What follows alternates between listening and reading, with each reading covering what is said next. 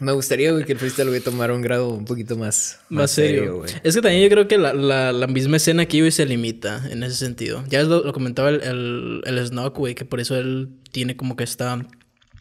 este impulso para llevar a gente afuera de la ciudad para que conozcan otros ambientes y que agarren las pilas y que vean qué tan profesional puede ser esto que están haciendo. Y aquí es como que el ambiente de confianza ya saben todos los límites, ya tienen muchísimo tiempo conociéndose, también saben los pros y los contras y las debilidades y las virtudes. Y es como no hay como que te limitas a cierto punto al seguir intentándolo, pues porque sientes que ya tienes esta idea de lo que es el otro freestyler y ya sabes cómo abordarlo. Sí, claro, que, que hasta cuando ya los conoces dices tú de que, ah, ni le voy a dar tan chido y la voy a ganar, dices. Que eso es lo mismo que, que, al final de cuentas le termina agarrando las piernas al, al, al que se confía. Pero pues que cae en cuenta uno que como ya los conoce, pues X. O sea, yo me acuerdo cuando el Snock me invita el Snog y el Manuel me invitaron a esta, una competencia en, en Culiacán. Era un 3 contra 3. A mí me tocó. ¿El que me dijiste de la medalla? Ah, no. Ese, el de la medalla fue un, torneo de, de, de, básquetbol, o sea. Ah, ok, sí, X, o sea, era otra, otra historia. Que yo antes jugaba mucho básquet y todo. Y vamos para Culiacán, güey, que es, pues, eh, dio da la casualidad que es lo mismo también en Culiacán.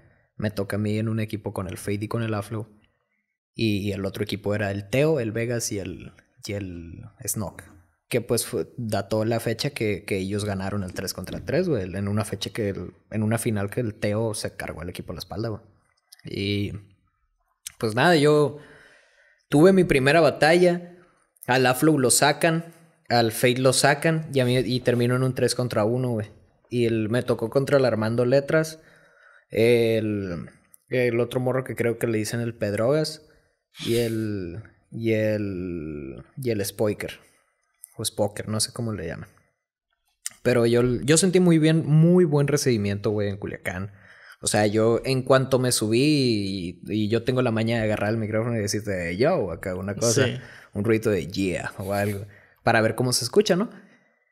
Y llega el evento y empiezo a tirar mis primeras rimas, yo diciendo ya con una presión encima de que bestia, ya sacaron a los plebes y todavía quedan estos vatos, güey, madres, dije. Y Simón pasó la primera batalla. El vato no le daba tan, tan fuerte, pero sacan réplica. Perdón. Sacan la réplica y. Y digo, yo, y digo yo de que, ah, pues, qué raro. O sea, me están gritando bien, les está gustando lo que estoy diciendo, todo bien. Y era, pues, una cantidad de personas eh, considerable. Y ya, por ejemplo, pasa, en la segunda réplica ya lo saco. Saco a este vato y todos, ah, aplausos, aplausos. Pasa el siguiente, el Armando Letras, y con él también, otras dos réplicas, güey. Y, en la, y dentro de esas dos réplicas, unas veces que yo decía de que bestia ya es mía, güey. Y jueces, réplica. Yo de que no mames, así, está bien, me están recibiendo chido. Por eso seguía yo como que animado, rapeando. Ya con el spoiler, güey, fue cuando ya me saqué de pedo. Porque, o sea, le estaba tirando unas rimas al spoiler en ese momento y unas respuestas que, que eran respuestas que, si me las dicen a mí, es como que directo al otro. Y no sé, no sé qué habrá pasado, si es cuestión de la escena, si las cosas que yo dije no les parecieron lo, lo mejor, pero, o sea, el problema es de que mi único problema ahí fue ese, esa cuestión de que yo sentí que ganaba esa, esas batallas y sacándolos de sin necesidad de tanta réplica, güey. O sea, me acuerdo que hubo una rima, güey, de las que le dije a este, no sé si al Armando Letras o al Spoiler, pero le dije yo de que Voy a desaparecer tu cuerpo como Ugi Roy. Y mientras juego con tu mente como Sigmund Freud, le digo, y a mí se me hizo un lineón, güey. O sea, de plano dije yo, bye, bye, güey. ¿Y qué pasó? Réplica, güey. Y dije, no mames.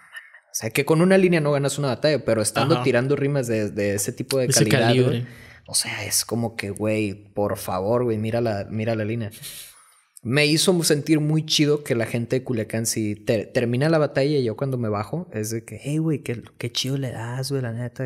Allá, allá me dicen el proof, güey. Porque dice que me parezco mucho al proof, güey. No entiendo mucho por qué hacer la barba, güey, acá. ¿Quién sabe? Pero, pero sí, ojalá, güey, ser el proof, güey. letrotas, güey. Pero, pero nada, fue eso. A mí me gustaría salir más, güey, de aquí de Mochis porque... El, porque neta te reciben bien chido. Tan siquiera a mí, güey, que siento que sienten la vibra del flow, güey. Que, ya, Sí, es la, el, el juguito en acá. Es lo que te decía el primer episodio, güey.